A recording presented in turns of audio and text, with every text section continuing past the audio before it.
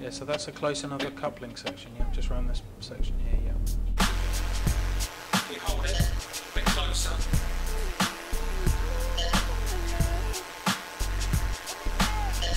One second.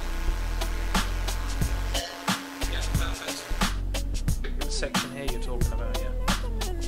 How about if we um, move it, move, the camera to the right a little bit? That'd be Test the rotary table. And move. Be, is there anything else in particular you want to see while it's doing its test?